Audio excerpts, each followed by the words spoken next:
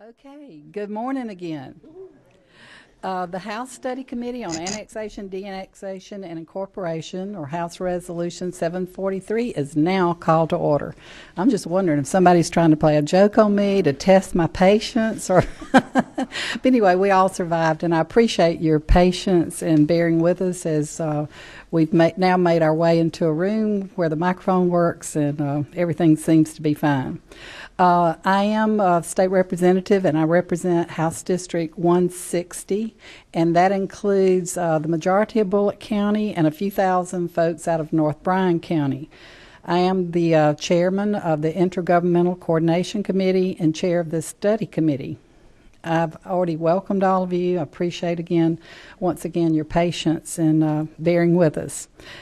I do appreciate the fact, too, that many of you have taken time out of very busy schedules to be with us today.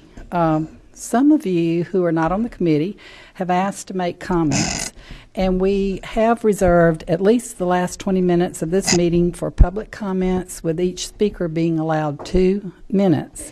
You also always have the option, excuse me, to submit um, more detailed comments in a written statement that we can can and will make available to all our committee members. I am respectfully letting all of you know before we even get started that we do have a zero tolerance uh, policy uh, t- as to personal attacks, threats, or any other disruptive behavior.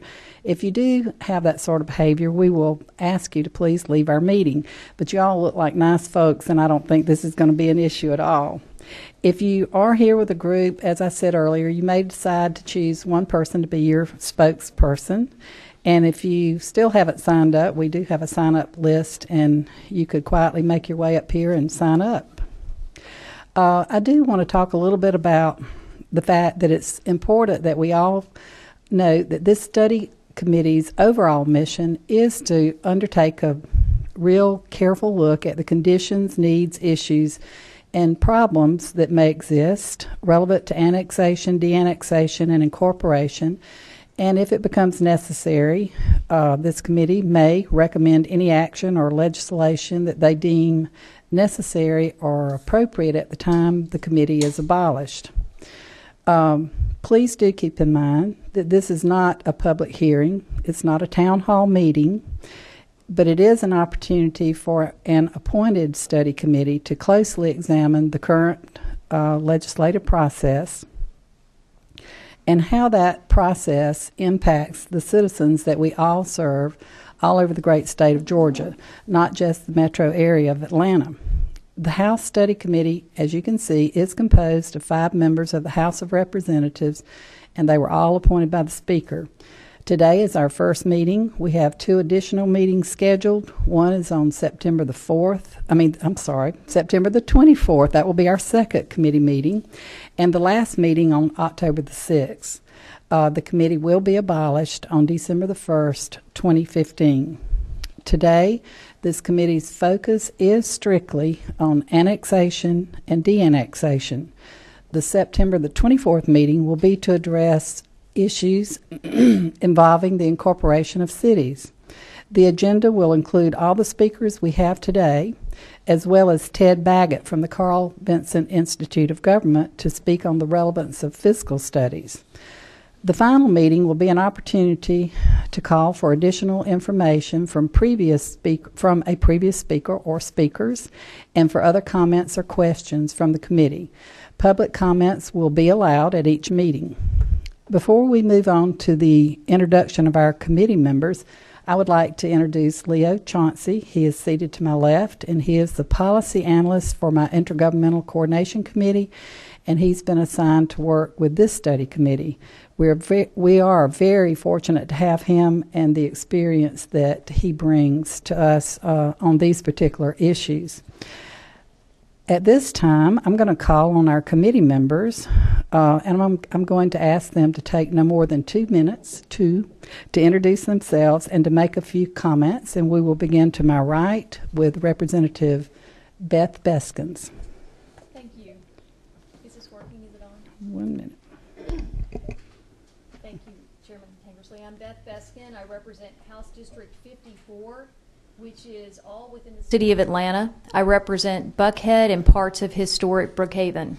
I'm now halfway through my first session in the House, and shortly after I got here last January, um, I, I realized that the city of Atlanta was working to do some broad scale resolution referendum annexations, both in DeKalb County, Druid Hills, as well as in South Fulton. And I realized how directly that affected all of my constituents in the city of Atlanta. And so I paid a lot of attention to those bills as they passed through last session. And I'm, I'm delighted and honored to serve on this committee because I think the work we're going to do is very important to all of us. So thank you. Thank you, Representative Beskins. Now we'll call on Representative Tom Taylor. Tom. Tom Taylor, I represent uh, Dunwoody, um, North DeKalb, um, part of Doraville over to the GM uh, plant site, and a little bit of Chamblee. Um, actually, it's like old home week here for me. I think I spent like three years in this committee with Susan, Marcia, Don Bolia, um, Bill Floyd. Um, Van, you're back there somewhere in a corner. Um, it, it's uh, one of the first uh, meetings I've been to with uh, annexation or incorporation with the cap, we didn't have state troopers out in the hall, which is a good sign. Um, that's chance that she's going to keep it calm. Um, sort of the subject matter expert on this. I've been through it from the conceptual stage uh, through uh, forming a 501c3, running that, doing the legislative side, and actually starting a city and then representing it in the, in the House. So. Um, wide open to the, the comments here, but um, interesting, and I'm sure we get a lot of input uh, from the folks here. Thank you, Representative Taylor. Uh, Chairman Ed Rynders is to my left. Thank you. Thank you, Madam Chair. Thank you, and good morning, everyone. For the most part, you're a fairly good-looking group. I'm uh, Ed Rynders from Lee County down in southwest Georgia, and I chair the governmental affairs, which most of you in the room realizes that's where the incorporations of the cities go through that particular committee. Uh, my focus will primarily be to remind everybody that what we do, if we do anything, and I'm not absolutely convinced the current system is broken, but if we do anything, um, that we understand that it infects the entire state. It's not my belief that what's works here has to work there. It, we just have to be uniform in what in what we do. I understand that a lot of people have and should constituent concerns because that's where they represent, and they're going to do what they have to do. But that you know, I'm not going to pick whether St. Mary's needs recreation and this city needs water. That that's for the people to decide. I'm a big fan of self determination. I understand sometimes when people object, they look at various methods procedurally to try to what I call game the system. Um, but again, I, am motivated by letting the people ultimately decide. But I do believe they need to have that kind of information uh, that they can make an informed decision on, and um, that they really understand if a library means a library and not just two books somewhere, and that's one of the three services. I just need to make sure we have those kind of definitions uh, clear in the in the in the process. And then finally, I, I, I think it's just absolutely important that we do recognize that at the end of the day, one size doesn't fit all but I don't want anybody to ever be accused of, well, you did this for one particular city or one particular county and you didn't do it for someone else. I, I, I think intellectually we have a hard time picking winners and losers, and, and I just don't want to do that. So thank you so much for giving me the opportunity. Thank you, Chairman Rynders. And now I'll call on Representative Mary Margaret Oliver. Thank you, ma'am. I serve House District 82, which is in the middle of DeKalb County, which goes from the city of Decatur to the southern part of the city of Brookhaven. And in my political career, I've represented Avondale, Decatur, Chamblee, Doraville, city of Atlanta. Um, and every square inch of my House district is subject to competing maps today for either annexations or incorporations. Uh, my constituents are very much ground zero of unhappiness with process from their perspective. From their perspective, there's there's some process issues that would help them, that could be improved, that would help them uh, understand their right to be determined, right to determine how they wish to be governed. How you wish to be governed is a political process, and we live in a political world. Is our political process as fair and open and transparent as it can be? Uh, I want to recognize Bill Floyd, former Mayor Bill Floyd, uh, who, with the City of Decatur, will be hosting this weekend in the City of Decatur the largest independent book festival in the United States of America. There'll be 80,000 people coming to see 100 authors, and you're all invited. Thank you, Representative Oliver, and thank you all committee members for your comments. At this time, um, I would be pleased to introduce our first presenter, and that is Jeff Lanier. He's been with the Georgia General Assembly since 2000, working in the Office of Legislative Counsel. Jeff works with ethics, governmental affairs, rules, and special rules, standing committees in the House, and their counterparts in the Senate. Jeff will be making a brief presentation on the annexation process as it relates to the official code of Georgia annotated. Jeff Lanier. Thank you, Madam Chair, members of the committee. Uh, I don't want to get too far into the details. Uh, you know, if we want to go there on annexation, we'll certainly proceed down. But once we get way down the weeds, I don't think it benefits anybody. So what I want to give you, if I can, during the period of time that's allotted to me, is a kind of a high-level overview of the annexation process in Georgia today, and I'll be open to any questions you would have afterwards.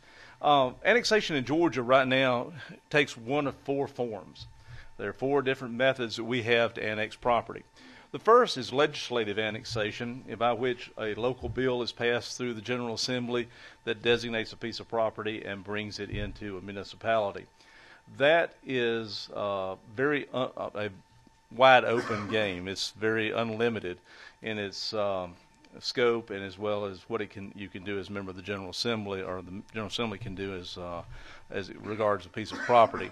Uh, you have plenary authority on annexations. Municipalities are basically are creatures of the General Assembly, and consequently, you can modify them as you choose to do so. The one caveat we have is that if you're annexing in a piece of property uh, which has a, a, population that is 3% or 500 people, 3% of the population of the city you're annexing it into, or 500 people, you must have a referendum on the annexation. Other than that, you're free to do as you choose. For instance, one thing that's been done in the past by the General Assembly, again, I don't comment on the wisdom of any of these things, but the fact that it has been done, I must point out to you, that a city can't do, for instance, is to annex non-contiguous property. The General Assembly, if it chooses to do so, can place a non-contiguous piece of property into a municipality, for instance. Um, the the cities, uh, like I say, just are creatures of the General Assembly, so you have widespread uh, powers when it comes to that regard. The other three methods are initiated uh, by the citizens and in cooperation with a municipality. The first one is the the 100% method, by which a person who owns a piece of property uh, that is contiguous to a city may ask the city to be uh, annexed into the property, and if the city agrees, then that becomes a part of that city. Um, there are some, uh, as I say, with each of the methods, some uh, details that, and criteria by which you got to meet, but these are general overviews. So if somebody wants to be in the city and the city agrees, the 100% method works. Um, the next method is the 60-60 method, which you have a petition from 60% of the property owners of a particular parcel or area, and 60% of the voters petition the city to be incorporated or brought into the incorporated city through annexation. And if the city agrees, the property comes in. The final method is the resolution referendum method by which the city passes a resolution that says we would like to annex this particular area adjacent to our city, and then a referendum is held among the residents of that area, and if it passes, then that area becomes a part of the city. So we have legislative 100%, 60-60, and resolution referendum methods by which annexation can be conducted. Now, what I don't really consider annexation method, although it is annexation, I think it's a, a separate hybrid thing is the annexation of unincorporated islands into a city, and that is just done in the city's discretion. An unincorporated island, uh, real quickly, is just an area that's unincorporated that's basically been closed in by the boundaries of cities or has become inaccessible uh, to the county to provide adequate services for that area as a result of annexations, incorporation of new cities, uh, well, a variety of factors that could come into play and the city can determine if they want to annex the incorporated island, but that's unincorporated island, but that's in their judgment if they choose to do it or not. The de-annexation process takes two forms again. There is legislative de-annexation, which is equally as broad as the uh, annexation process. As the as the General Assembly, you can de-annex any piece of property you want to from a city uh, by passing a, a local act, and and uh, it just goes. There's no referendum required, although you could conduct one if you chose. Um, but it's just simply a, a passing a local act and, and removing a particular area from a city. The other one is done by an agreement, application and agreement. If a property owner or owners do not uh, want to remain within a city, they can apply to the city and ask to be de-annexed. And if the city and the county agree to the de-annexation, then it, it takes place. It's kind of the 100% method in reverse, if you will. Uh, it's interesting here because the county is brought in with a say-so on whether or not that uh, process goes forward, which is not necessarily true in the others. There is a method by which counties can object to annexations. If y'all are interested in that, we can certainly plow that ground, but uh, it's uh, it, it is a very, I guess, convoluted process to a degree, uh, and it's um, not always effective from all the county's interest in uh, stopping an annexation. It deals mainly with the effect of zoning, uh, in my opinion, more so than actually stopping a process. It may uh, delay a zoning change in a particular area. One of the things that kind of comes up with annexations, since they are local legislation with the General Assembly, that I've noticed that we have uh, any local bill that is introduced in the General Assembly under 28.114 requires it to be advertised um, before the bill can be introduced.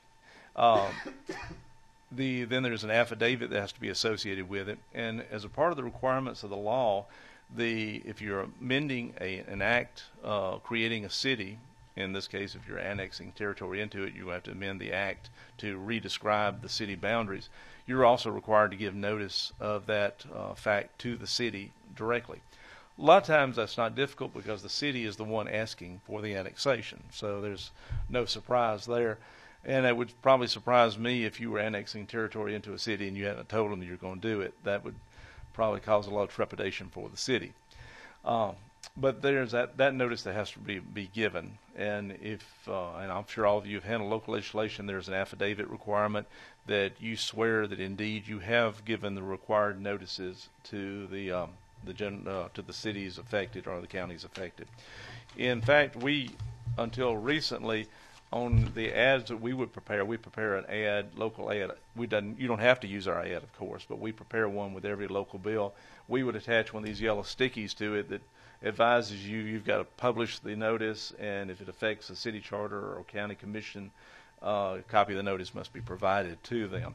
We're changing that starting this year, and you're going to get a, a little bit more expansive notice attached to your ads to uh, give you a little further information on that. But those things are provided so that cities uh, will and counties will know that um, something about is about to happen to them. Now, the law in that particular regard is being fairly open when it comes to what the notice says. Um, it kind of sometimes defeats the purpose of the notice, in my opinion, but that is the law. For instance, you could annex property into a city simply by saying, uh, notice is hereby given that a, a bill will be introduced at the next session of the General Assembly to amend the charter of the city of so and so and for other purposes. That doesn't really give you a lot of notice on what's about to happen to you. I guess it gives you a little notice that it's going to happen. And the fact that these things are advertised in the legal ads also makes them a little bit uh, more obscure. Now, it's the legal ads. Uh, there's a game you must necessarily play uh, in order to give notice to people. Uh, we everybody's presumed to have read all the legals. You know, when we advertise, you know, for instance, uh, you can if you can't locate somebody and you want to file a lawsuit against them, you can serve them with permission of the court by advertising in the legal notices. If you want to change your name, you advertise in the legal notices. If you want to foreclose on property, you advertise in the legal notices. And everybody's presumed to read them. Now, we all know that the game is that nobody really reads those things. Uh, now, I, I must admit, I, there was a time in my life when I used to go over and read the name changes and try to guess which name people were changing. Uh, but that was a little game I played, and it was always funny, and I never did guess the name they wanted to change when it comes up. Know, Yeah, it's just yeah, it's, it's crazy stuff. But you know, everybody's presumed to read, and you got to have that little legal fiction in order for life to work. Because otherwise, if the people don't read the ads, you're back in the same spot you were. If you got to prove that they read them. So anyway, this is to give notice, and a lot of times the notice is not very informative for the city. I guess they just need to look at every piece of our county. They just need to look at every piece of legislation that comes through the General Assembly to keep an eye out for it. And local legislation, going, going through the uh, committee, uh, the local intergovernmental coordination committee, uh, is treated under Rule 18 uh, as a piece of local legislation. All your the committee looks at is whether or not the people in the delegation, the requisite number, have signed off on it. Uh, General Assembly operates, or I guess to make things move a little quicker under a what I call local courtesy thing. If all the members of the delegation uh, for the affected jurisdiction agree to something, um, everybody else says, okay, if y'all are happy with it, we are, it, because you really don't want someone from Glynn County interfering with business up in Dade County. They just don't have any business there. So, and the bill does have to pass the entire General Assembly. So the General Assembly has come up with the, the local consent calendar, as y'all are familiar with, uh, which bills are put on if they have the requisite support in the delegation. The interesting thing is that over time, uh, we, well, let me back up one thing. The number of signatures required depends upon what the delegation has done for that jurisdiction. And there are many variants on what a local delegation is. Um, for instance, you, you, could be all the people uh, for affecting a particular city, could be affecting a particular county, could be for a judicial district, it could be of any kind of permutation you can have on that. But if they have filed a, for that particular area, filed a majority of filed with the committee rules that say less than a majority can sign all, less than a u- unanimous group. Boy, I'm having trouble today with that. Less than unanimity, they can have a majority of the people sign it, then a majority can sign it and the legislation can proceed. Otherwise, it's going to require every member uh, who affects that area to sign it. The area where it's, I think the committee has changed over time and it's varied back and forth, and is uh, Rule 18 um, of the House of Representatives rules says that uh, this, the legislation affecting the political subdivision, the delegation who represents the uh, the political subdivision that's being affected has got to sign off on the legislation. The term affected political subdivision has varied over time depending on on the year and the and the, the committee how they feel about things in the past, a lot of times, if it was a land being annexed into a particular city, then it was viewed as affecting only that city, since the city would be was the one being compelled to provide services for this area, would be brought within their jurisdiction, and it was viewed as this being removed from the county, so the county really didn't have any interest in this. I'm not saying that's true, false, or indifferent. I'm just saying that was the theory behind it. Uh, subsequently, people came to the conclusion that, well, the county is affected because they're losing people there, and since county has, has become uh, over the last several years has become more and more involved, especially in the metro area, with providing services, that that also impacts service delivery and impacts a lot of other things. So perhaps the county should be brought into it as well as an affected jurisdiction, which changes the scope of who the delegation is that needs to sign off on it, um, which causes. Uh, a variety of problems there in identifying as well as getting everybody to agree um, on a particular piece of legislation. And then, of course, there are provisions by which, if the delegation can't agree, the bill can be brought out and treated as a general bill and and moves forward in the general bill process, uh, which also has its ups and downs. And that's a, kind of where we are with it. I'm, I have comments, I think, next time on incorporation of cities, which I would like to share with the committee. But that's kind of where the law is. And Madam Chair, I'm welcome to answer any questions that the committee may have. Do we have questions from the committee? Okay, I'd call on Representative Oliver. Do you know how many de-annexations we've had? I don't know. Uh, anything I would have on that would be totally anecdotal uh, because uh, unless I see them coming through, I can't remember more than about three or four in the past few years. It's, it's not a very common thing to happen. The, the trend is much more the other way. Uh, but it would just be purely anecdotal. We have a conflict in the law over, or tell me if you think we do, over whether an annexation of a territory takes schools into a new uh, annexed city. Do you have an, an opinion on that, or is that something you think we need to address? It would be, I, I think the law is not absolutely clear in that regard. I think uh, in the discussions in our office, we have come to the conclusion that when you have an independent school system and you annex uh, property in from the county, that those people in that area do become part of the independent school system. And if you were to annex uh, in a county schoolhouse that is located in that area, that it then becomes a part of the independent school system and that if um, you annex the, the people that annexed in could go to that school, but the people who were attending that school that were not a part of the annexation area, they must be relegated to other schools in the county, which admittedly would be somewhat disruptive uh, to that school system.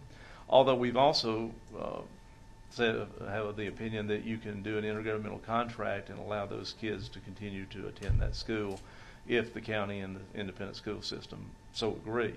The, the difficulty we always have dealing with school systems that make it a little unclear is that a county school system is separate from the county. It is a different sovereign. There's a, in, in they're two different things. There, the county school system just happens to share the same footprint as the county for the most part, and an independent school system can take on several forms. Some of them are part of the city, the way they're, the way it seems when you read their act. Some of them are truly independent school systems. They have a, an act separate and apart from the actual city that created them. Uh, in which case they would, it's a different sovereign again. So that's kind of where we are on that uh, in our office. I am not saying that's absolute. That's where the courts would go with it, but that's our best thoughts on it as we sit here today. Thank you, Representative Oliver. Uh, At this time, I'd like to call on Representative Rynders. Thank, thank you, Madam Chair. I want to talk a little bit about the 100% rule Yes, sir. and the vagueness of the legal notices. Okay. So if I'm an industrial park, but I'm owned by one group that owns the entire, all the parcels, and someone from the city says, if you'll join the city, I'll provide you this service. And you agree, and then I don't get that service, I then have to get the permission to leave because the promise wasn't fulfilled? Yes, sir. As I understand the way the law works with that regard, once you are a part of the city, you are a part of the city, and you would have to go through the de-annexation process in order to leave the city. A- And your legal opinion would be that if that promise was made by a member of the commission, city or county, council, that that wouldn't hold legal standing if it's made by an individual without some form of action being taken by that governing authority through their meetings. That would be correct as well. Continuing, Madam Chair, so therefore, if a promise is made in exchange for services, your best suggestion would be to get that promise in writing and legal action taken by the affected, whether it be county or city, to protect the interest of the person who's had the promise made to them? That would certainly be wise. Uh, again, I, when you, I, I don't know that there's a conditional annexation recognized in the law. Consequently, any promises made to you um, are just just that. They were just promises, and as a result, we can't condition annexation on it. So, if you were to have them put it in writing and make it uh, as as binding as you possibly can, you certainly have a leg up. But I don't know that that would affect the annexation. Once you're annexed, you're annexed, uh, and I don't know that you can say, "Whoops, time out. We're going back to where we were." Um, I would have to look at that question a lot more before I could be more comfortable with it. But that's, I think it certainly would be a wise course to show that uh, uh, indeed you did have that promise and that there's they've defaulted on the promise. And if I may continue, Madam Chair, what would your legal opinion be if no action was taken by the governing authority, city or county? Would your client, if, if, if it was your client, would you tell them it would be strong enough if they just put that condition in the legal notice that you felt was lacking anyway, or would you prefer both? Or would you think for the interest of that person that felt like a promise was made, which one do you think is more important, the legal ad or actually doing it by a vote of, of the governing authority? The vote of the governing authority always would carry more weight in my, my book because uh, one individual or one person can't bind an entire council no more than you could bind the General Assembly as being a member thereof. Um, I, I think if I were handling that particular situation, I would try to have it so that the annexation vote uh, is done on the same night that the rezoning vote uh, is, or this process is, is started or is, is in motion, so that uh, a lot of times you, there's a lot more stuff involved with the rezoning in order to get there or to providing certain services. Um, but I would try to make them as simultaneously as I could to make sure that everybody remembers the promise and we all stay on the same page. And and finally, on the issue that was brought up as it relates to schools, and I don't know where that is in, in Georgia law, but we hear that more, and I don't know if that's, I, I, I don't know where that affects, but I just wanted to get your thoughts on does a county school system whose school may be annexed or incorporated into a city that has a, a city school system, do they have a greater legal standing or higher priority than a private or parochial school sitting in the same area? If I'm a church and I have a pre-K program, could they look at you and make the argument that school system was given greater consideration or that school than my school was? I'm not sure exactly how to respond to, to your question on that one. The uh, the city school system would take over any school and any students that are brought in by virtue of annexation. The private schools, they're still they don't have attendance zones. It's just whoever wants to go there goes there. Uh, so they may be brought within the city and be subject to city services, city um, taxation if they are uh, taxable, uh, and those things, but it would not affect any kind of attendance zones or anything that would uh, cause a problem. Their students would still be their students. Thank you, Madam Chair. Thank you, Chairman Rynders. At this time, I'll call on Representative Taylor. Thank you. Just, just um, to follow up on Chairman Rynders' um, issue, uh, two things. One, would you, I mean, and this is asking an opinion, not a, um, but if you were to do an annexation, if you were looking at it, would you prefer um, like a unanimous decision of the city council, you know, or a majority versus, like I said, one person making a promise? Well, I, I would. I'd be looking for official action of the council itself. I, unanimity, I, I don't think changes. But something majority. binding. But something binding. Okay. A second question, and this just came to light. Um, 1930 case, College Park, with the schools, um, when they uh, took over buildings from Fulton County to take over their schools, um, it was held, I guess, by the Supreme Court that the tax base at that point had actually paid for those facilities, and they were allowed to annex those without exchange of monetary concern. I guess is that That's my understanding. something that we should um, possibly look at. Um, and, and again, I'm just quoting the case out of memory here, but um, I, th- I think the school situation with annexation into cities that have independent school systems is, is something that needs to be fleshed out a little bit. And, you know, and it's, it's not a clear cut situation. Like you say, uh, some people look at it as we've already, our area is already paid for it. Other people look at it says, no, the entire school system has paid for it because there's no way to earmark tax dollars and say these tax dollars went to that place and these tax dollars went to that place. It was just tax dollars.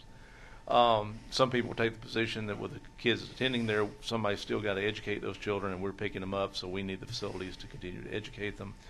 Uh, there's pluses, the minuses, all infrastructure but it would be and interesting. all to, associated. Yeah. yeah, it would be nice to, to settle that once and for all, so we can, I think, be clear in the law what happens, so that there's not any uh, misunderstandings or misapprehensions if an annexation does proceed and that does occur.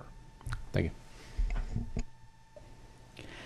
Thank you so much for uh, being with us today and hope you'll stay with us until the end of the meeting.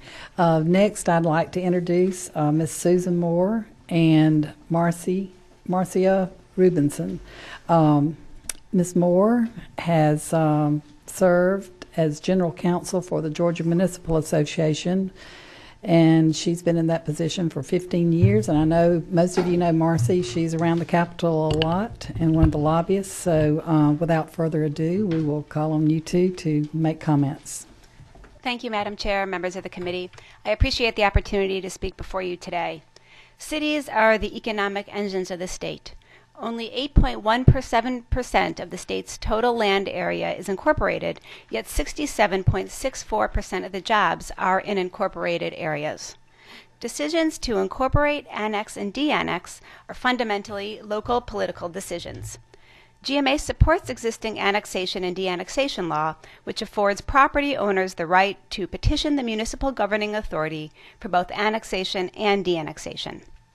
GMA has a comprehensive guide to Georgia's annexation law publicly available on our website, although I'm not sure it could compete with the overview that um, our esteemed legislative counsel just provided. There are three, mary, three primary methods of annexation, well, four primary methods of annexation in Georgia, and three of those four do require the consent of a majority of the persons living in the area to be annexed. A property owner will be interested in annexing into a city that provides the owner with the greatest value. Cities may and should show property owners in potential areas to be annexed why the annexations would be beneficial to them.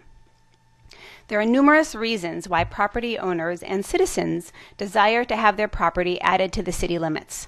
Many residents are interested in obtaining a higher level of government services than are provided in the unincorporated area.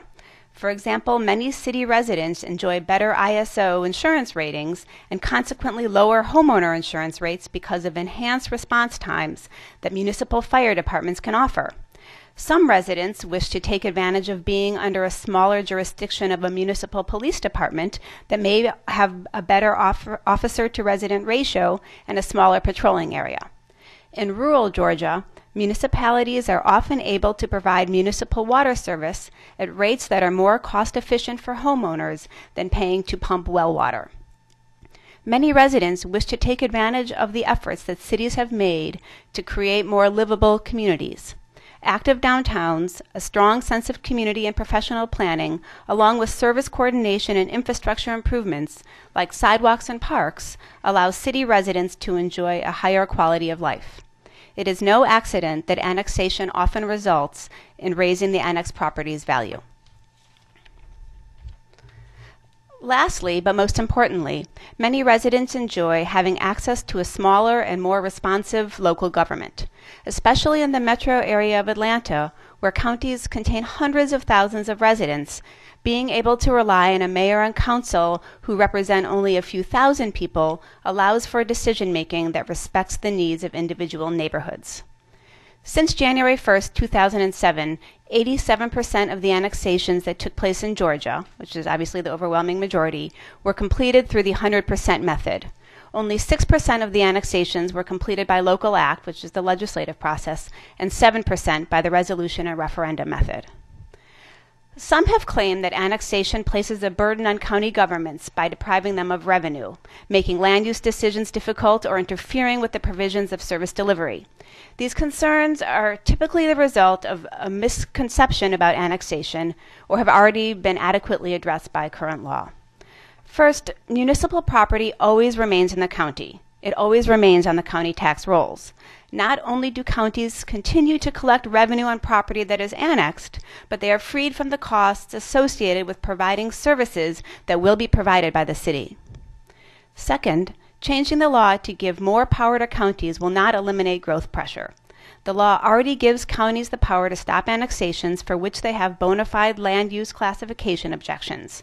Counties can require that dispute resolution be entered into between the city and county when the county believes that the proposed changes in land use might adversely impact the county. Proposed annexations may not go forward until county objections have been resolved in accordance with the dispute resolution process, which was negotiated between the GMA and ACCG leadership. Finally, every city and county must enter into a service delivery strategy agreement in order to work out any problems with duplication in services. These agreements can accommodate changes necessitated in service delivery by annexation. Furthermore, almost all cities and counties have intergovernmental agreements and mutual aid agreements in place that establish respective roles for service delivery. Georgia's annexation laws work well, and in the final analysis, the value of annexation is that it empowers people to choose the government that will work with them to provide municipal services and be responsive to their needs. In the 2007 legislative session, the Georgia General Assembly passed House Bill 2, placing into law a procedure for resolving annexation disputes bet- between cities and counties when there is a proposed change in zoning or land use. The 2007 law provides for disputes to be resolved by a panel of five arbitrators, which will issue a decision binding on the county, the city, and the property owner. The provisions of the law were crafted by elected and appointed city officials and of, county officials acting on behalf of GMA and ACCG, and it represents a best effort by both organizations to work together. Since the law became effective, only 24 objections to annexation have been filed by counties with the Department of Community Affairs, and this represents less than 1% of all annexations in that same time frame. In addition to the General Assembly's plenary power to de-annex from within a city, uh, Georgia Code authorizes a city's governing authority to approve de-annexation of land after a written and signed application of landowners and a resolution approving the proposed de-annexation is adopted by the county governing authority. Uh, there were 69 de-annexations between January of 2007 and um, August of 2015. When a new city is created or when property is annexed, the property still remains in the county and still pays property taxes. However, when a property is de-annexed, it is, is it, it is entirely removed from the city. Cities have made investments of infrastructure, including issuing bonds, and any city facing a request for a de-annexation must retain the authority to approve the de-annexation. Um, if a city promises ser- services, if I were a property owner and I were hoping to get something in exchange for coming into the city, I think that I would make friends with my legislator because you you would retain the authority to um, de-annex. That's an alternative method.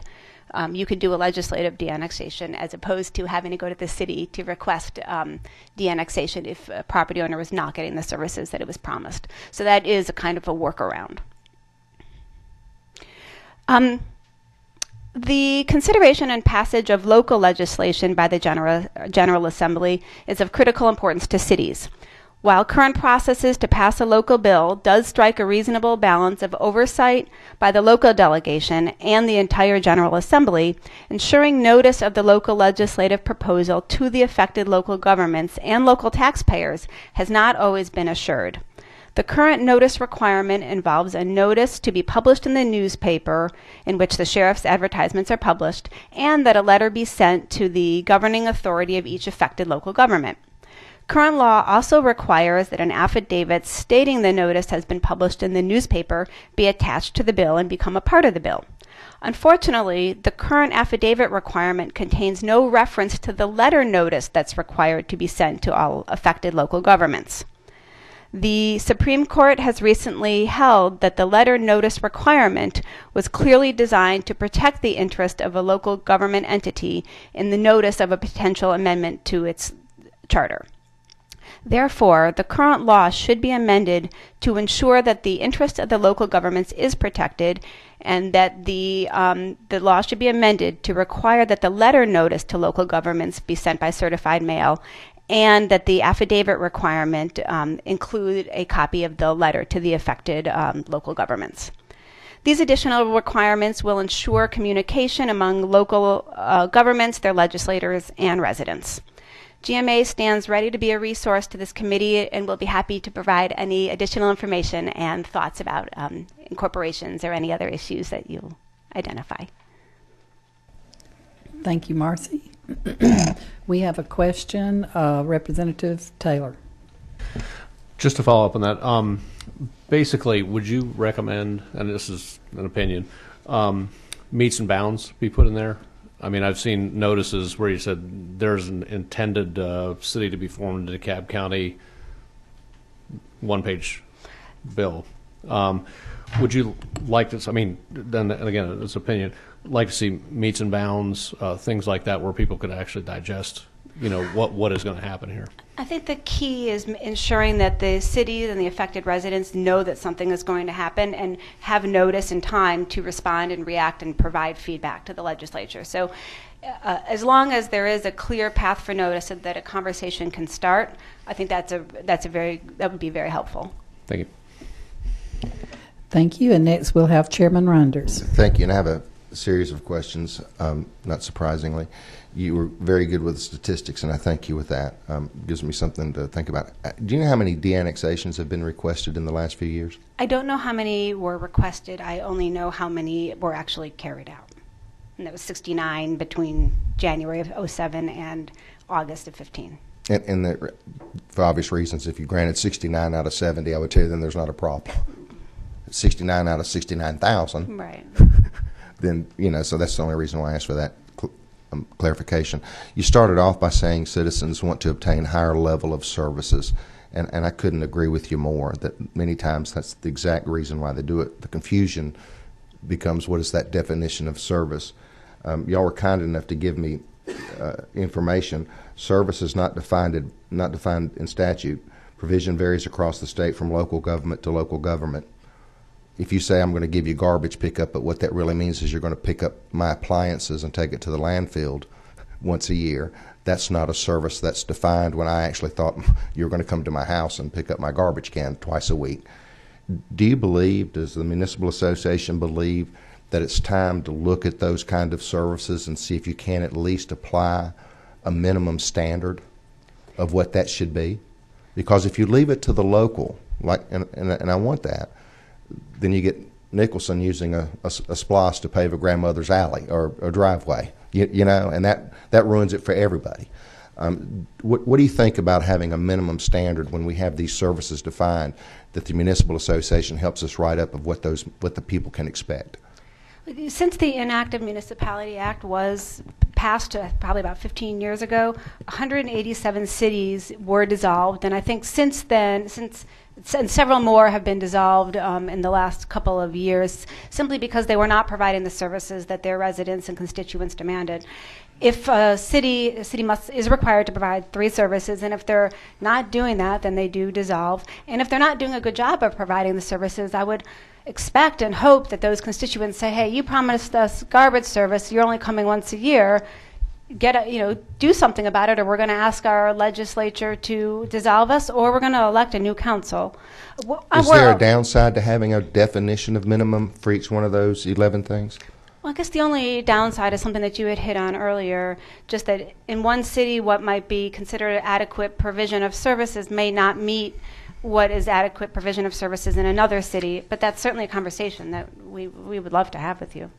A- And if those, if I may continue, Madam Chairman, if those services are defined in the charter, and, and I, I really have a hard time wrapping my mind around this, the lawyer may need to help here, and, and I'd love to welcome you. If it's defined by the charter, which is granted by the state, that, that's correct, isn't it? Th- Then how do you change some of those services through home rule without the approval of the state? I'll turn this over to. Under the Home Rule statute, uh, municipalities have the ability to change a lot of things in the charter. Um, That would be one of them that they can change. They could certainly redefine services, they could, um, Well, that's my point to the legislature could fix that. My point would be, but if you're doing it through home rule, then that really, if you're all of a sudden going to take over a utility authority or something like that, then actually you're doing that through home rule, which means the legislature doesn't have to do that. You, you use home rule to exempt going through legislative process, do you not? Uh, Home Yes. rule, uh, well, I'm trying to make the distinction between what can and cannot be done through home rule. There are a lot of things to the charter that can be changed through home rule, but there are certain things that simply cannot and are left exclusively in the province of the legislature.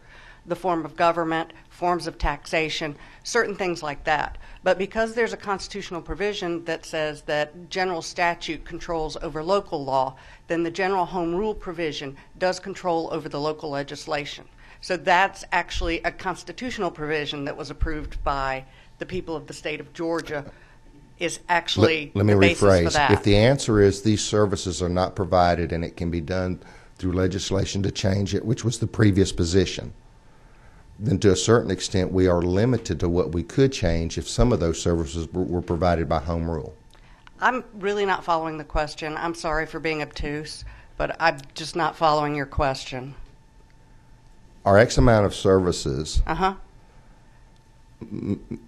her, her, her position was, and the municipal association's position was, to a certain extent, that these services, The list, yeah. right, In the inactive municipality statute? correct, Yes, sir. that they can change from local definition to local Absolutely. definition, and that if we don't, if we have a problem that they're not receiving those, the position was then through legislation, we could go back in and change that. Did I could misunderstand you? No, you could certainly change that statute, All right. the inactive municipality Well, that, statute. I mean, that, to, I was assuming that was Marcia's point on uh, checks and balances. Right. And, and, I, and I Right. understand that. I- I'm now trying to drill down to, but if there was a promise made Mm-hmm. on an issue that was protected through home rule, then we can't drill down and try to take that corrective action. Because you would claim home rule. We would, we would probably, it, well, it, dep- again, if you're defining it in general statute, what we're going to have is a conflict of two general statutes. We're going to have a conflict of the general statute that you're enacting and our home rule statute. Um, and in that case, if you've got a more specific one, I think it's going to carry over and supersede over the more general rule, and it is going to carry the day. So I do think it would actually um, change our ability. Now, I hate to be all lawyerly on you, but um, but uh, uh, here goes. I'm looking at Jeff. Um, uh, we also have the supplementary powers provision of the Constitution, um, Article 9, Section 2, Paragraph 3, that lists a number of uh, services that municipalities and counties are authorized to provide.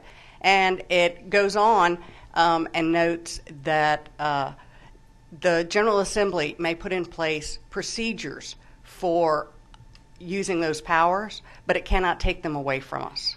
So that is also a constitutional provision um, that, again, was approved by the people of the state of Georgia. So it's it's more complicated than it seems. I'm really not trying to be difficult, but it's it's you have to pick your way through it much more carefully, um, and I think I think you'd run into much more.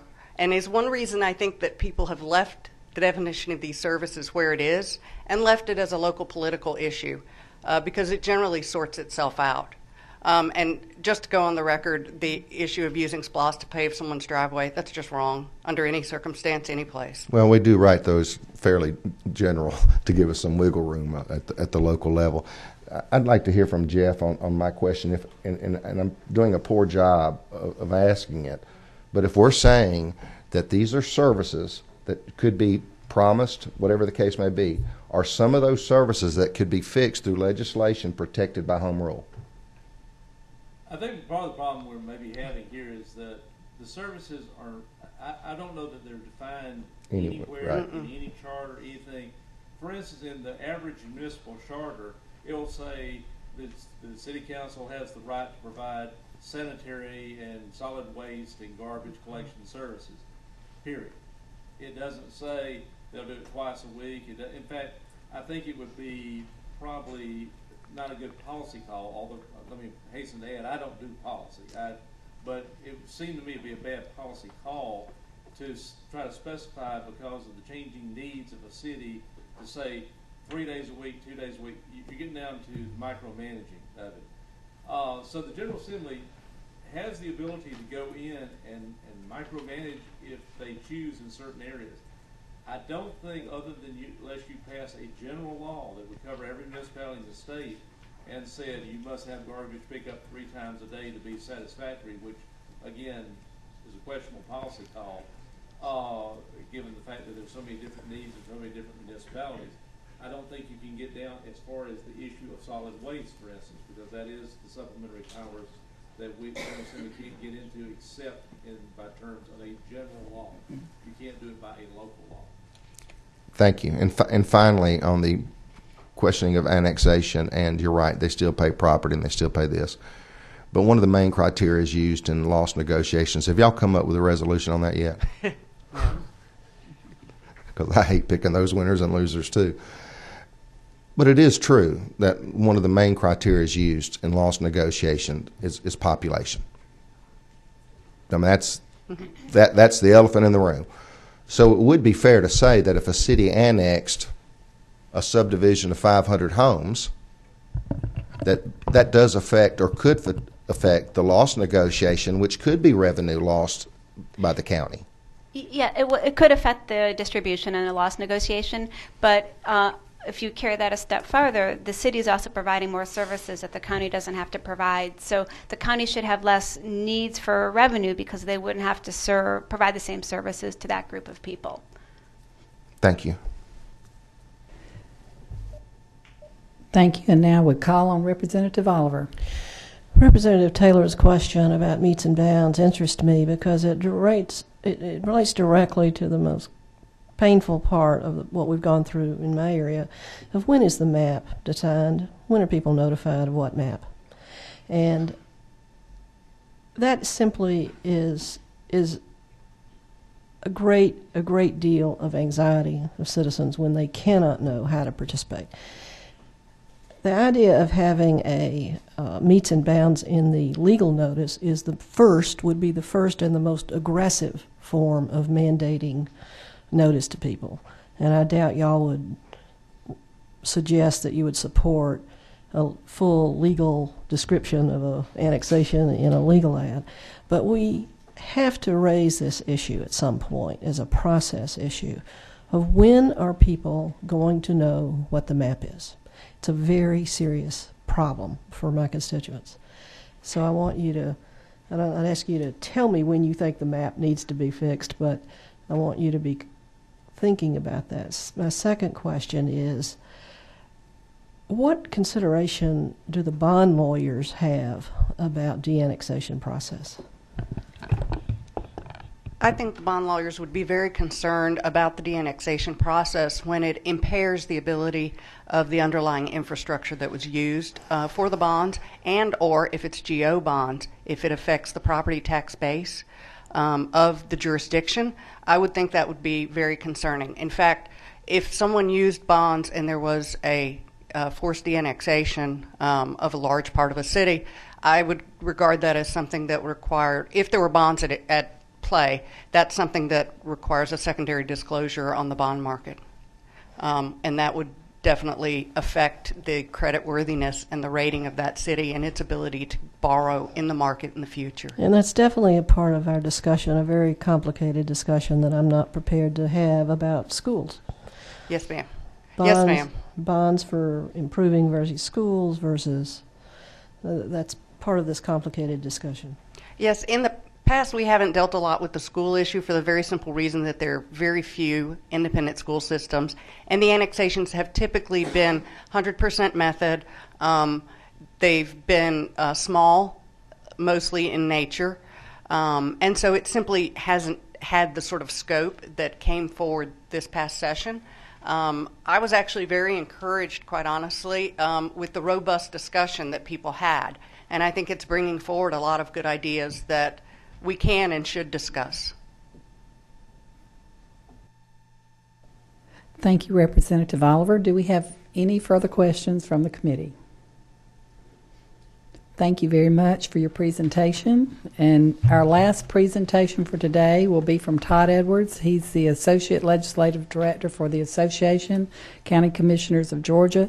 Todd has been with ACCG for 11 years. He specializes in both natural resources and general county government policy and he will be sharing ACCG's concerns, observations, and suggestions with Georgia's annexation and de-annexation laws. And I see that he also has Clint Mueller, and we're happy to have you here today as well.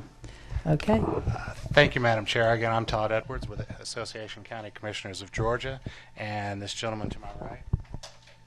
Clint Mueller, I'm the legislative director for ACCG. We appreciate y'all uh, inviting or giving us an opportunity to come and share with you some of the perspectives on Georgia's current annexation and de-annexation law, an issue which we at Georgia counties have dealt with considerably uh, over recent years.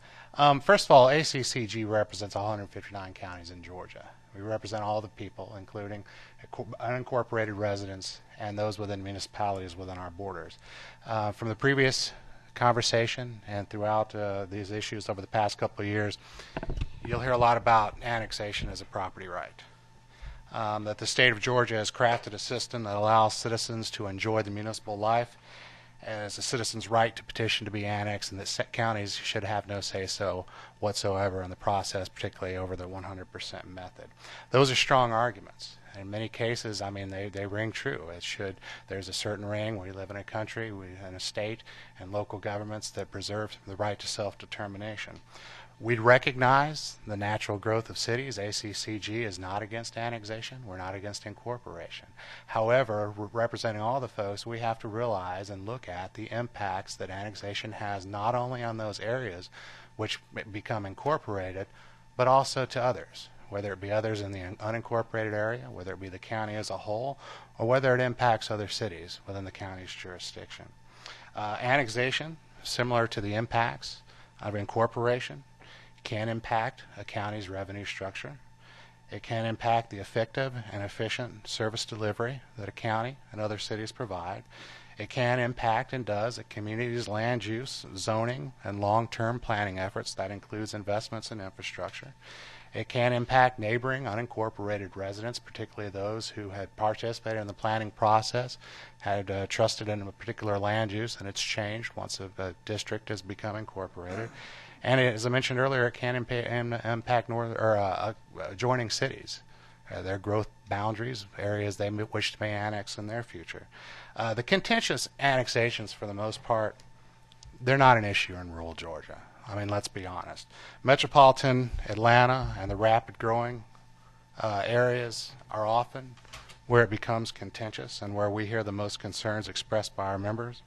It is, as always, or often argued that annexation is because property owners often wish to be provided services that are not provided by the county or into un- unincorporated residents.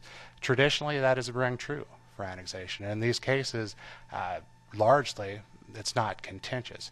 I would argue that there's another form of annexation in these rapidly growing areas where contentions do arise, and that is annexation when in fact the zoning doesn't grant the land use, or the, the county doesn't grant the land use or zoning changes that a possible developer may want. I'm not saying that's necessarily bad, but it doesn't correlate to the arguments that are used often or espoused that annexation is purely to receive services not provided by the county. These same areas are within counties that provide these services now. Whether it could be argued whether that's good or bad. These powers granted us in the 70s were a great thing. It's caused service delivery challenges, sure. But a lot of times when it's contentious, the counties do in fact provide a higher level of services, so we have to look at other factors, and a lot of that is dealing with land use. And again, to get areas zoned, uh, what the county may not be willing to do. This explains why so many of the annexations are done through the 100% method. It's a large parcel owned by an individual property owner, and it also explains the trends in annexations over the year. Over the years, um, I have presented to each of you, or I had handed out a folder of which we've included a lot of materials. Um, the first one on your left side are the number of annexations. And if you look, the first map is from January 1st, 2001 to January 1st, 2007. I, I'm going to try not to bore you. I'm going to get through this quick, but I did want to give this to you for later use just so you can see patterns here. These, I think everyone would agree, were our high growth years. Uh, there was a lot of development. Things were changing. North Georgia rapidly populating, as other areas of the state.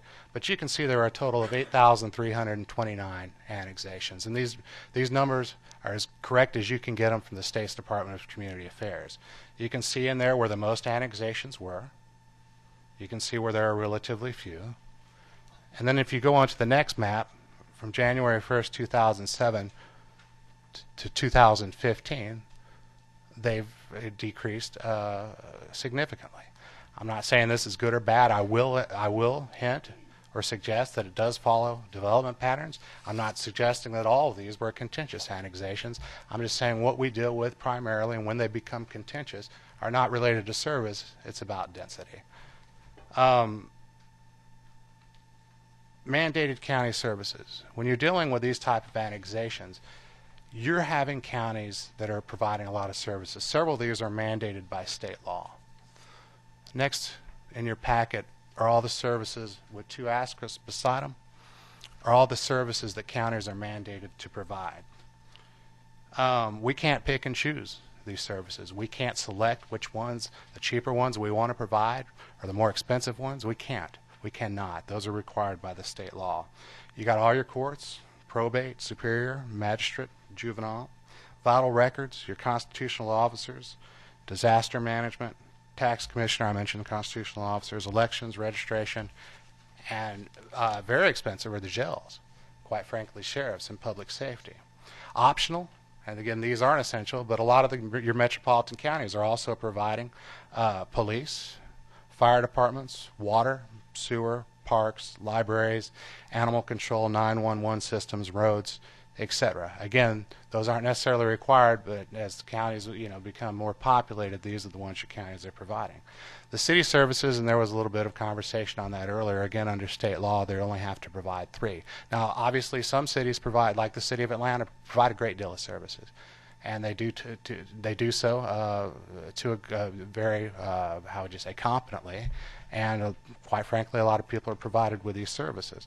So it's a mix and match. It's not always the case that folks want to annex into a city for serv- services, and it's not all cities that just provide the minimal services, but there's often conflicts uh, in between when the county is in fact providing the bulk of the services and the city annexes property but is not taking in any increased services in the process. And if you look at some of those dispute resolution cases, and I provided those in the back of your folder, you'll see that a lot of these are from counties that are already providing a high number of those services.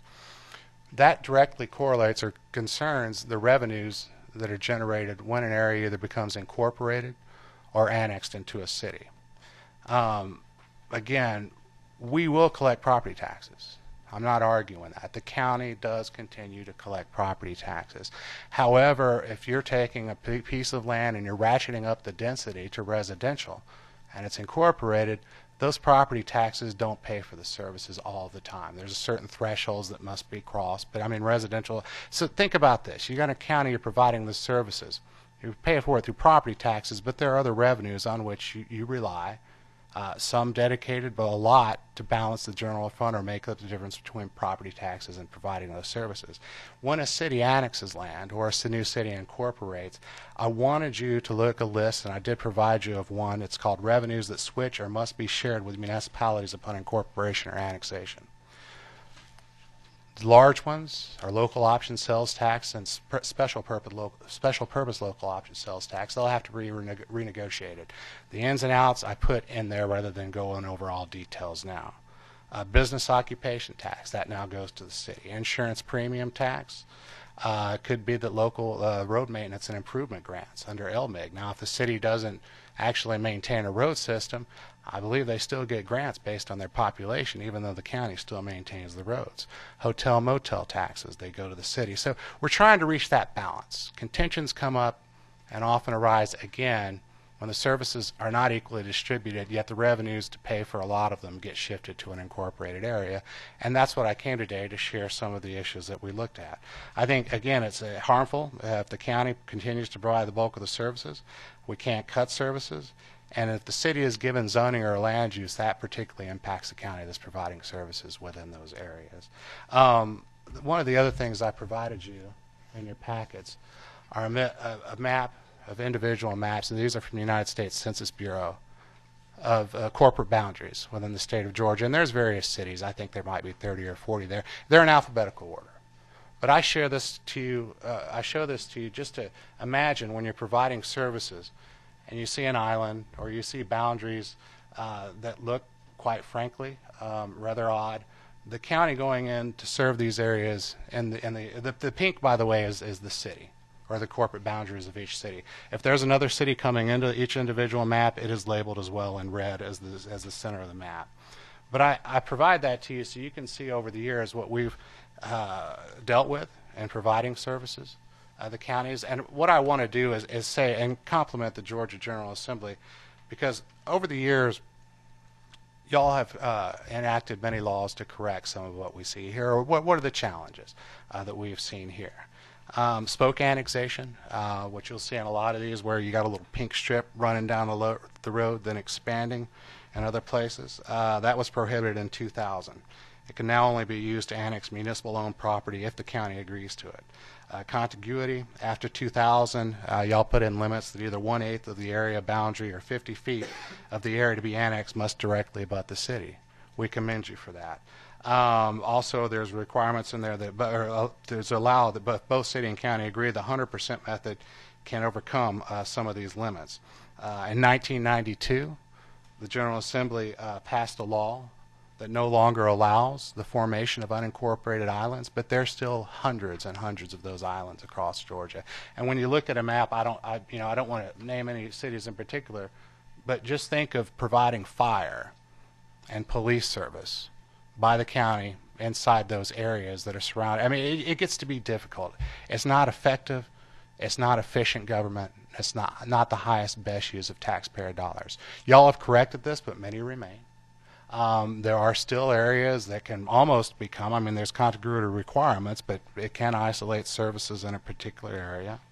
Um, and that those are some of the challenges that, quite frankly, arise in the division and responsibility providing services among Georgia counties. Um, and I would say a lot of these directly correlate with the high growth patterns of northern Georgia. Uh, Clint, did you have anything to add before I go on dispute resolution? Dispute, go ahead. I'll just say I know the conversation came up earlier about what is the service, and I think that that's an important distinction because you can say anything's a service, but what do you have to provide at a minimum level before it's truly a service? So, for instance, in the LOST negotiations, if you provide three services, you have access now to all these sales tax revenues. Well, there is no minimum. So, if you say you provide the service, you provide the service basically. Um, and it can be done through a contract uh, or it could be done uh, in, in a variety of ways. Um, so I think one thing that, that we look at is uh, not only the type of service, but is there a defined minimum level that you could truly say, well, that is an actual service being provided. I'd like to also point out, and I, it's, it's easy sometimes to think that it's just, oh, there go the counties again fighting with the cities. That's, it's not always the case. It's not all annexations, even only a fraction that are, confrontational. But it's some cases and in some areas of law that over time we've responded to, and y'all have to accordingly, and, and we commend you for that. And it's not just a city county thing. Often, uh, in terms of these new incorporations, a lot of these uh, conflicts, so to speak, were between cities. Cities, cities annexing, cities looking to uh, incorporate or annex uh, commercial or profitable properties, while others wanted the same thing for their growth patterns to make their, their cities feasible, which, as I understand, will be the next uh, study on incorporating. But it, again, we are not against annexation. We are not against cities, but representing all the folks, these are what we hear from our constituents. Dispute resolution process, and I think Marcy and Susan did a pretty good uh, uh, job on uh, going over it. In 1998, there was one implemented in service delivery, or excuse me, under House Bill 489. Uh, we believe it was largely ineffective. In 2007, 2008, we had House Bill 2. A lot of y'all were here for that. Uh, went through the, the, the committees. Um, for a large part, it's made a bit of difference. I think uh, there was a compromise, as noted by our friends in the Municipal Association, between their and our associations. Uh, established a procedure. Um, it was noted earlier that counties could stop annexation. I'm not sure if I heard that correctly, but counties, the, the, the panel or the, the arbitration process that was put in law, they can't approve or deny an annexation. It simply doesn't have that authority, but they can attach zoning, land use, or density conditions for a period of one year following uh, following the dispute resolution process. They'd be put on the, the parcel of the plot, plat, um, the deed, uh, that they could put conditions uh, coming out of that process for a period of one year. After that one year, uh, that would no longer be the case. So it's not our ability to stop, it's our ability to object. If we object, uh, there are pretty strict grounds and limited grounds on which we can object over as a county. Uh, have to do primarily with pros- proposed change in zoning or land use and a proposed uh, increase in density. and I can provide any more information. I mean, it, it goes in and out, but that was a process agreed to. I think what we're hearing from our concerns, and it was noted uh, in the earlier conversation on uh, whether uh, what what is the appropriate notice, what is the time to react. I, I think the concern we have 30 days uh, to react to any proposed annexation once the city gives us notice of it. Uh, we have to, in order to object, we have to order go through a majority vote of the county commission. The objection must be well documented. We must provide evidence of any financial impact, again, based on those valid objections listed earlier. And then it must be delivered as certified mail. Um, we'd like to have more than 30 days. Obviously, uh, it was increased from 7 to 30 at this point. I, it, it'd make a lot easier for us to get staff and commissioners both involved in the process if we had them. I'd like to, you know, for, for later consideration. Um, immunity from lawsuits. Uh, we've had some opinions from the Attorney General. We're not quite certain that those who participate, both in the city or the county, when making these decisions, if you upset somebody who didn't get granted the zoning, etc., the question is whether or not we, the panelists who serve on those arbitration panels, are immune if we're looking at that law. Um, in your packets, uh, Department of Community Affairs on the back of the right side, you can see the results. And I believe the Municipal Association mentioned from the uh, dispute resolution cases. And this is um, in the past several years since 2007. Again, a period of low growth in Georgia. A lot of this would have occurred prior to that date. A lot of annexations, knowing this process were coming, we have examples were put in to, to, to, to be previous uh, to that date. And finally, with this process, Nothing's foolproof. It was the best we could do in good faith compromise with both the General Assembly and uh, the Georgia Municipal Association. Um, we do have whether or not it's binding. I don't know. I do know, however, that just last week we had a case of a city in Cherokee County that absolutely refused to participate in it. They were given notice later in the week by the Department of Community Affairs that their qualified local government status would be revoked. That letter is also in your packets. Um, I don't know if the city, if that means much. I mean, when you lose your qualified local government status, that basically means you can't get a permit, a license from the state. Uh, if you're an EPD permit for water, if you ran radar, I guess you would have to weigh in your in, in, their minds whether or not that was a worthy punishment or not. But we do have those cases. Uh, or that that case I did want to bring to your attention about resulting from the dispute resolution process. The last subject I did want to go over was the subject of de-annexation. And we've heard through the incorporation debates that folks should have a right to choose what city they belong to. Uh, and, and we've gone over that. However, there there is often the case and these same counties are providing services where a city promises a certain area parcels, properties, services by a certain point after their annex. Um, it could be that they haven't delivered those services or that the property owner feels that these services were provided in a substandard manner or quite frankly that a the wish for self-determination that an individual has felt a city has grown too large and unresponsive to their individual needs. Um, current law does not allow that property owner to de-annex without having to go through the unilateral authority of the, the, the city governing authority. Um, are there solutions to this? It's been talked about, and I mentioned it was brought up with a bond earlier. I think the same could be said for a lot of the infrastructure and bond bonds that the county takes out to provide services in an area that is later incorporated or annexed but they're no longer receiving money back from those services. It is complex.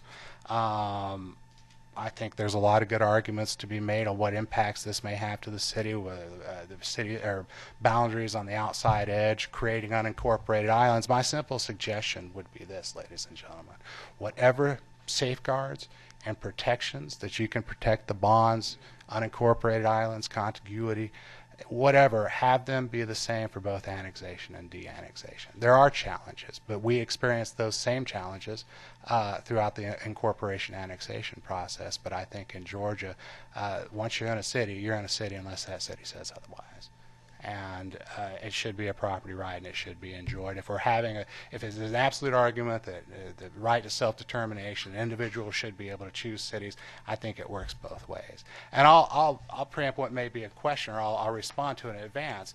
And it's a fair question. was asked during Senate testimony on a bill a couple of years ago is whether or not counties would then agree that de-annexation from a county should be a private property right as well, and that's a good one. It got it got me to thinking a little bit. I think if current law allowed parcels to be annexed from one county into another county, I think if ACCG were up here arguing that this should be a fundamental property right to allow this, then that would be a fair question. I might agree with you. However, current law doesn't currently or, uh, doesn't allow for that. Uh, y'all can do it just as you can in de-annexation through a procedure whereby the General Assembly can de-annex land from one part of the county to another, but I, I don't see it in quite the same lens. Uh, again, at the end of the day, whatever law, laws or rules apply to annexation should also apply to de-annexation. That gets on to the notice requirements that y'all were talking about earlier. Um, whatever notification on annexation, uh, y'all may change, and I know y'all, a few of y'all had asked me about that. We just ask the same. It's that simple.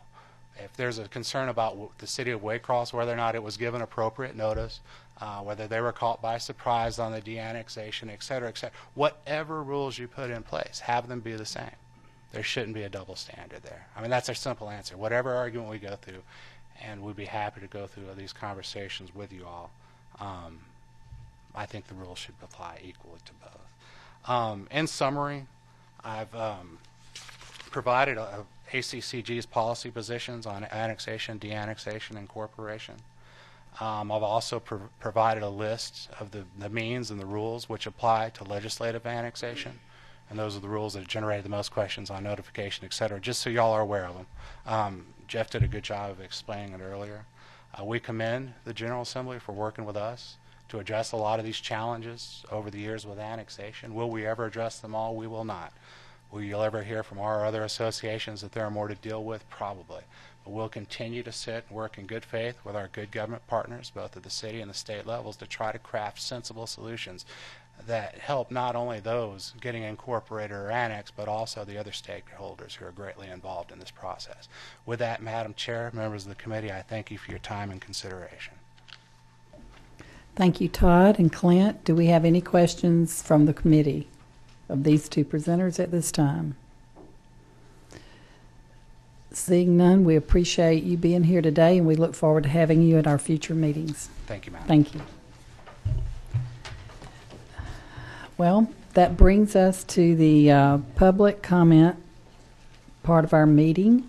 And if you would, please go to the podium and use the microphone. And I would call on Buzz Ahrens uh, to be our first um, public comment.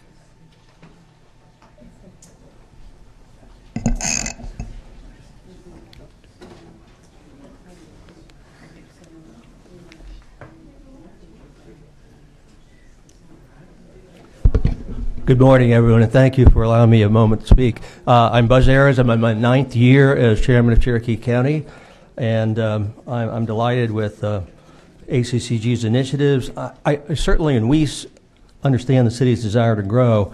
We'd like to believe there's a higher degree of future predictability, and, and I'd like to give you four thoughts.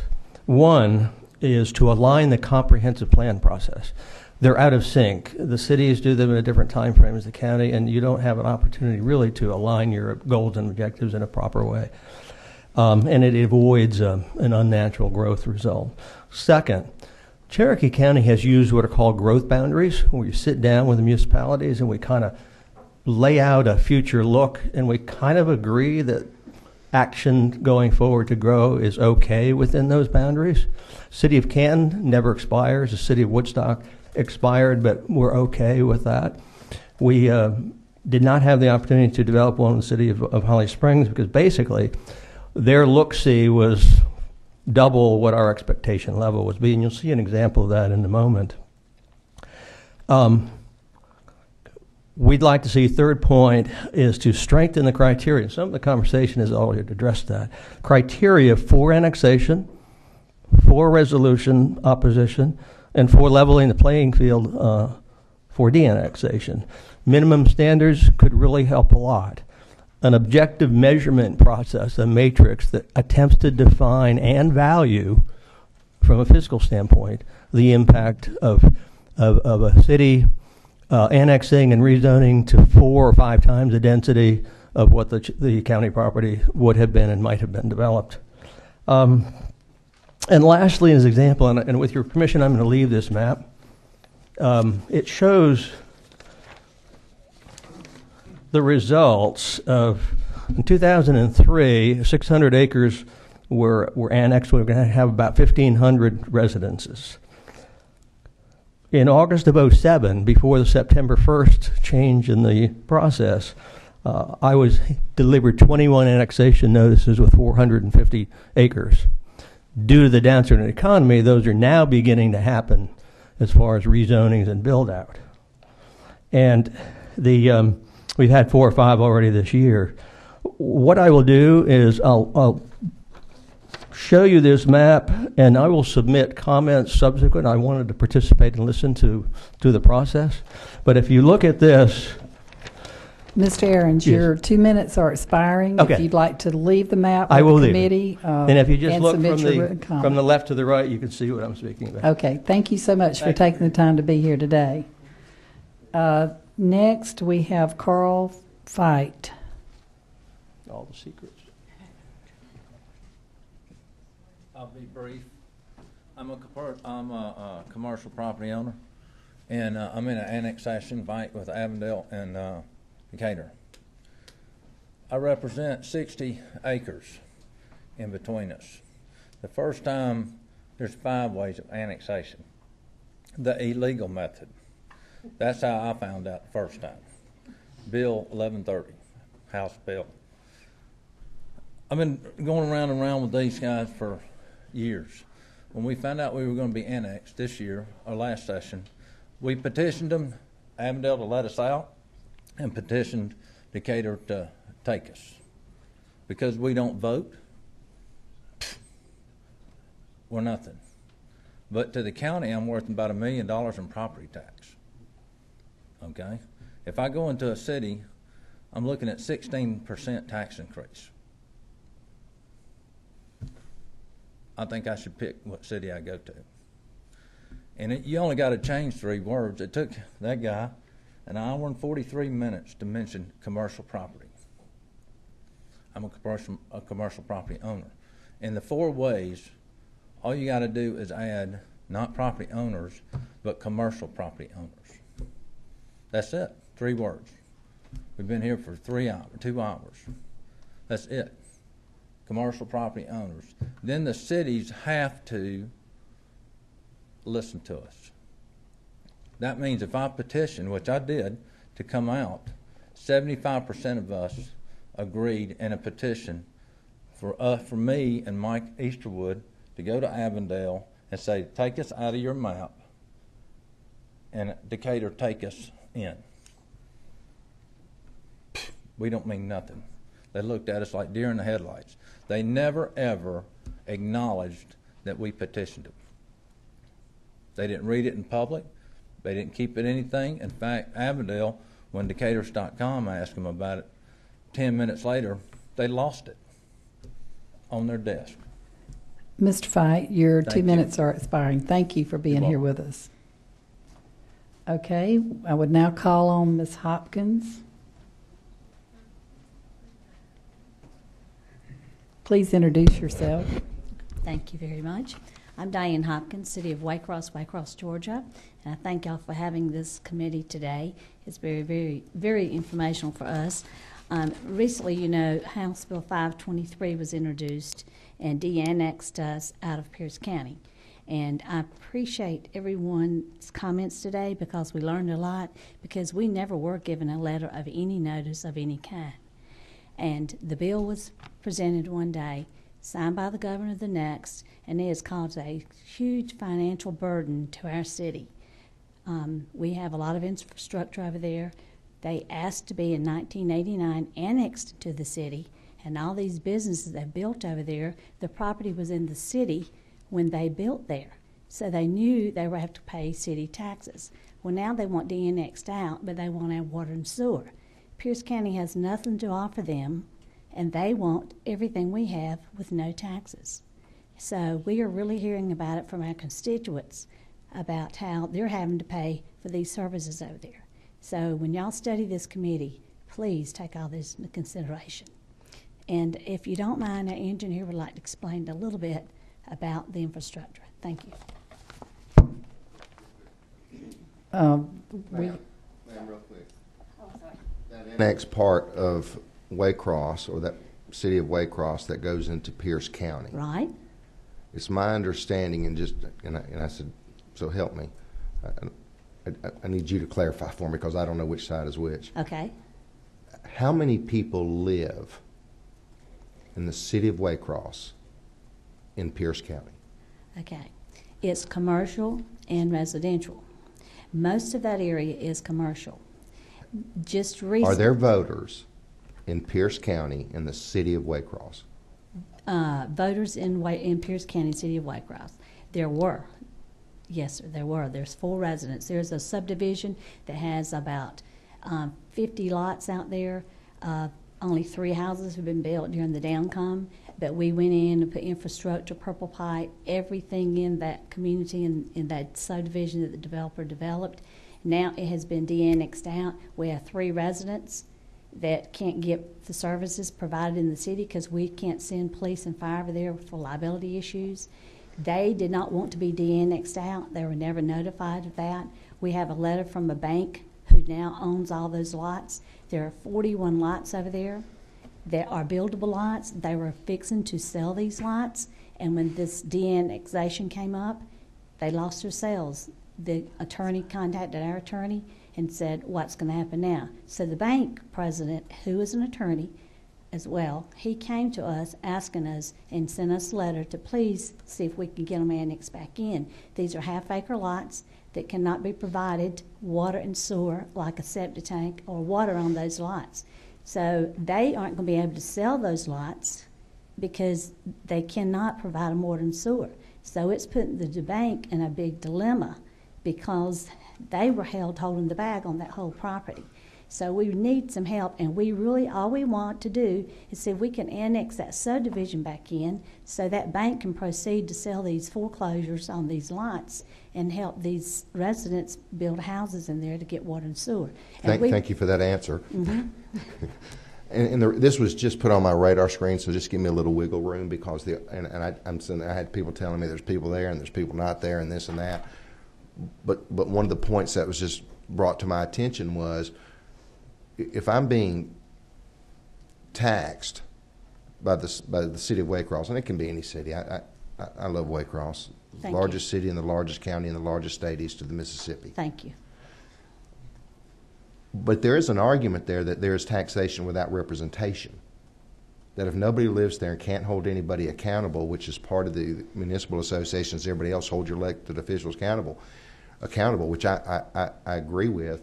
If nobody lives there and can't vote, then that then they don't if if if their due course is through Pierce County, how, how do you how, how, how, that's that would be part of their argument, and we see that in other areas. But right. this is so unique. Well, let me go back. Let me go back and refresh this. Okay, there's a church also that has 1,500 members.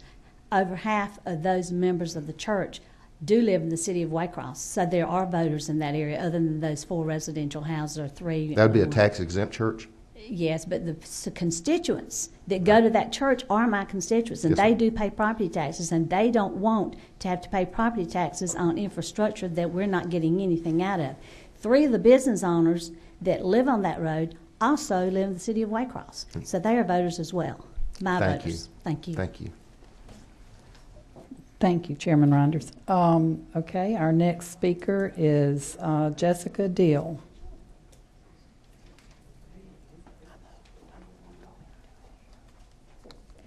Hey, um, Jessica Deal, I'm the city engineer for the city of Waycross. First, I'd like to thank y'all for having this work session and um, allowing us to have some input. Everything I was going to talk about today or touch on has been discussed in some shape or form, so I do, do appreciate that. The main key here was communication. We would like to see some communication improved. Um, the publication process, which again was, was discussed, and I believe y'all are working on that to improve it. I, we realize that the legislation can't send a public notice out to every property owner in in an area, but they can send notice out to every municipality, and it and it could be their responsibility to make sure that all of these property owners and everyone that is involved knows exactly what is happening and, and how it'll affect them because like the city of Waycross did not know, a lot of those property owners did not know. They they were unaware that not only um, th- this is just it's not a it's not only a tax problem. It's it's got infrastructure and ISO ratings. Those property owners were unaware that their insurance rate would increase because of such a dramatic difference between the ISO ratings between Pierce County and the city of Waycross. We have a rib site located over there, um, a lift station, a lot of infrastructure that we did not have at the time that it was installed, it was in the city of Waycross. Therefore, we had access to maintain that. Now we have no legal documentation saying that we, we may maintain that infrastructure. And it's just, if a de-annexation was to occur, it, it would have been better to ensure that there was a joint agreement between the two parties beforehand. Our lift station is setting directly beside a, a state ditch that is going directly to the Satilla River. So if something happened and we didn't have access to maintain that lift station, it, whether we cut off water and sewer or not, if if someone connected wells and, and the system filled up the lift station and overflowed, it would overflow directly into the Satilla River. It's just we wanted to make sure that that communication was improved with the process because there's a lot more involved than just property taxes. Ms. Deal, we appreciate your comments, and your two minutes are up. Thank you. Uh, Next, we have Danny Lamont.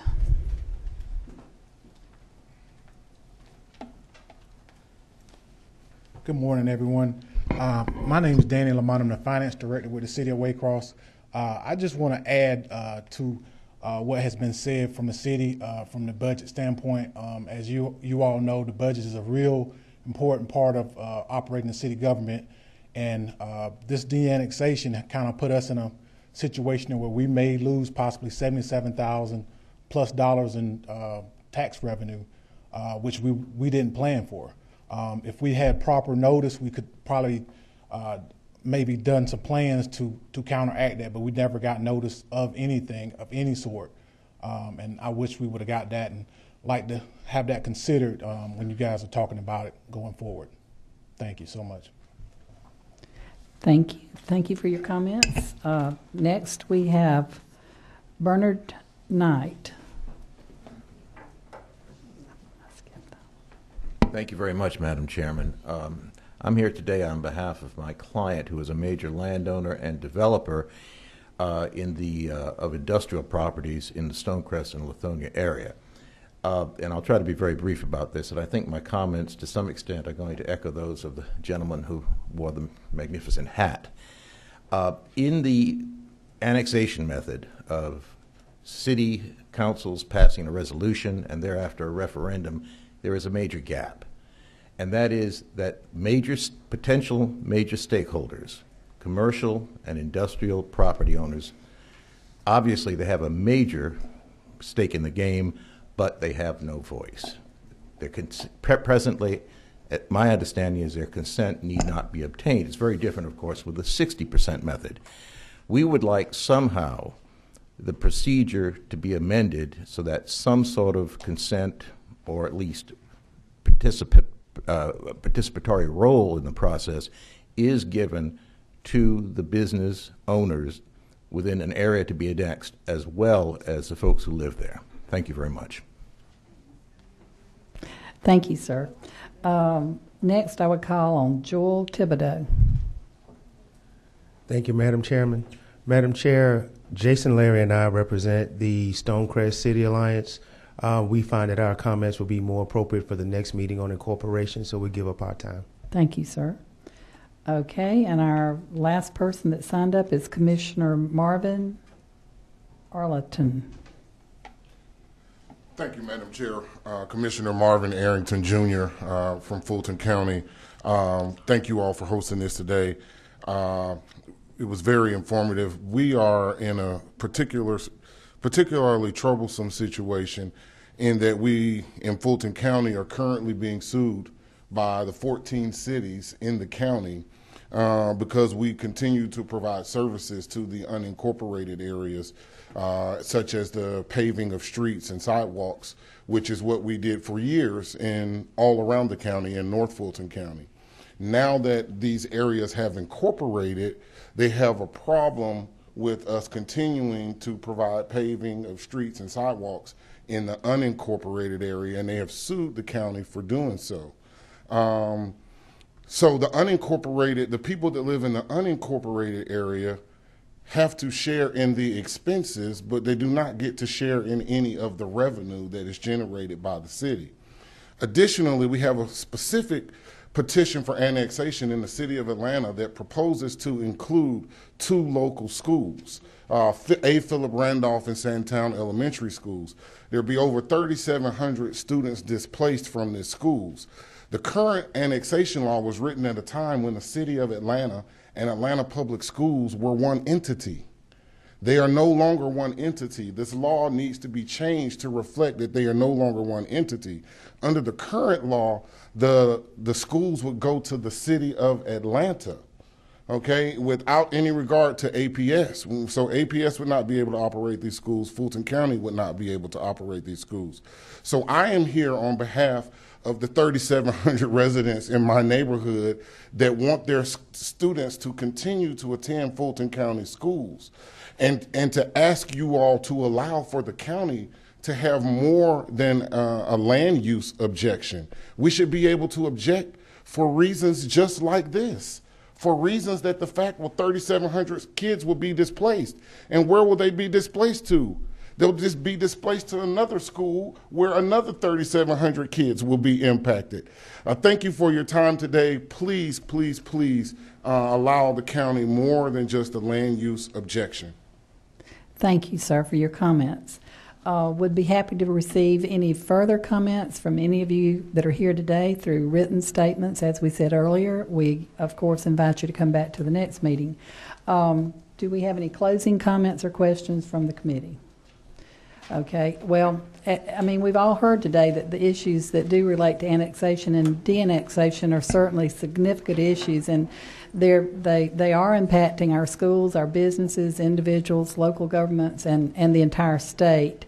Um, the procedures for appropriately introducing and enacting local legislation involving all the methods that we heard about today are vitally important as they do impact such a large number of citizens in so many wide ranging ways.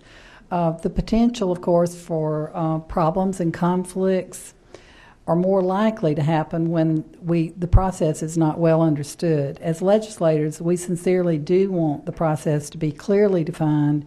We want it to be open. We want it to be fair, and uh, uh, most of all, we want it to be in the best interest of all the citizens of Georgia. So appreciate your time uh, here today. I hope you will join us again. Our next meeting is September the 24th, and we will be looking at the incorporation of cities. Uh, we stand adjourned. Thank you.